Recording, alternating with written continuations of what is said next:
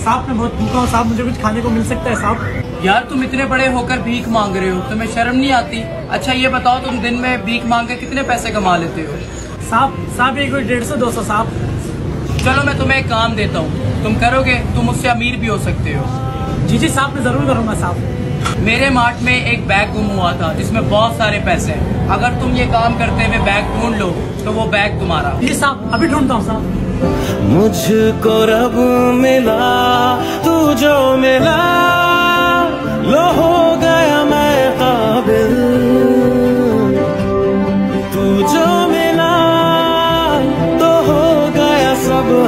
अरे भाई बैग गुम हुआ क्या हाँ यार। मुझे बता देते यार मैं ढूंढ लेता।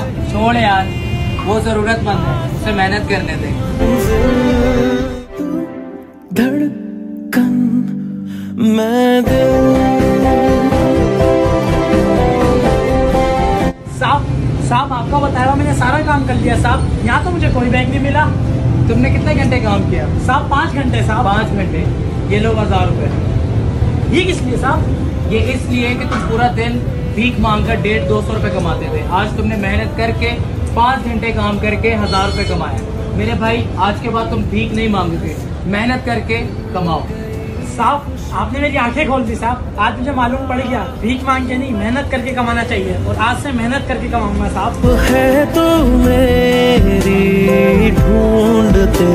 वाह भाई तेरे पास बहुत दिमाग है यार। उससे काम भी करा लिया और उसे नसीहत भी दे दी। तू जो मिला